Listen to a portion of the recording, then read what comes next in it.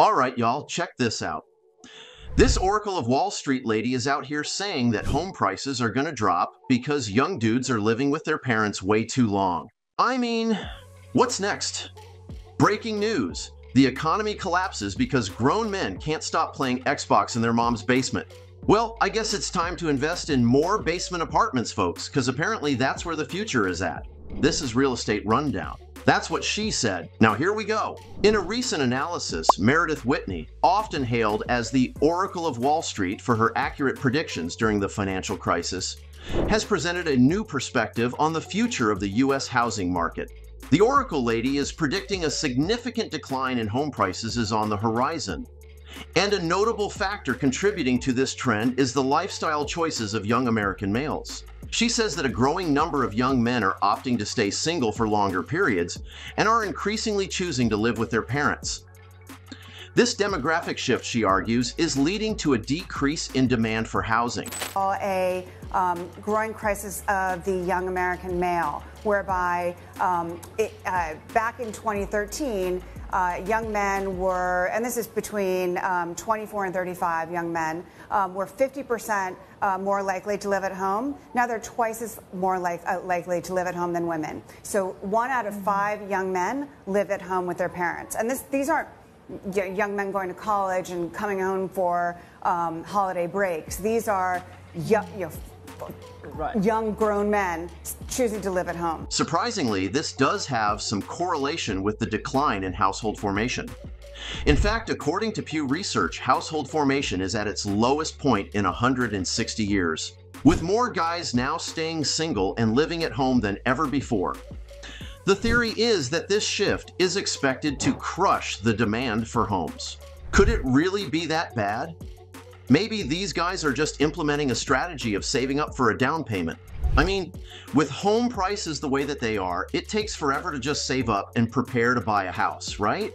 But actually, they called out that the fastest growing leisure spend is fantasy sports and online sports betting. The negative impacts is that it's all young men. And I parallel that with, or dovetail that with Pew Research, which says that 63% of young men are single. And that's the highest it's ever been. And 50% of those young men have no interest in dating, not even casually. And 30% of those men, or 30% of young men, say they have not had sex in over a year and don't seem to care. Wow, really, guys? What are you doing out there? Are you just going to stand around and let all the good ones get away? And young women who are spending their time really with, with Instagram moments, going to the Taylor Swift concert. Houses, guys. I was talking about letting all the good houses get away. Anyhow, if you're not out there driving the demand for homes, then what's going to happen to the housing market? Demand dynamics. So you've had a demand supply imbalance, more demand, less supply.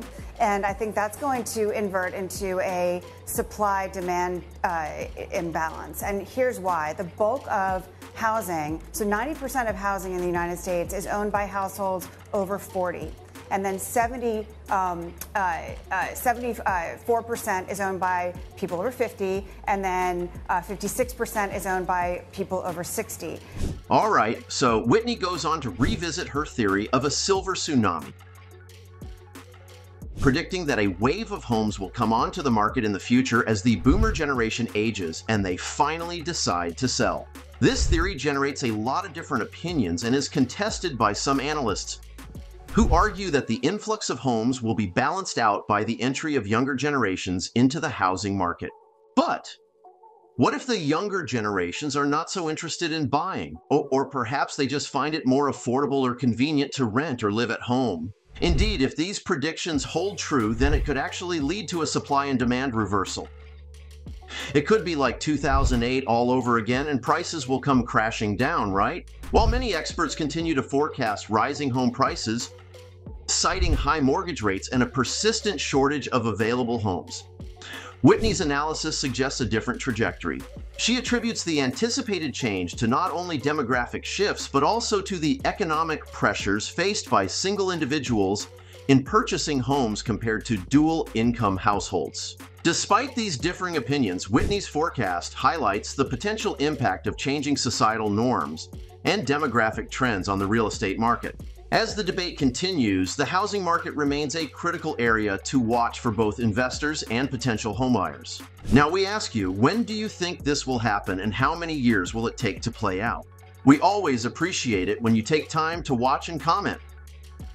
Please leave a comment below and let us know how you feel about today's housing market.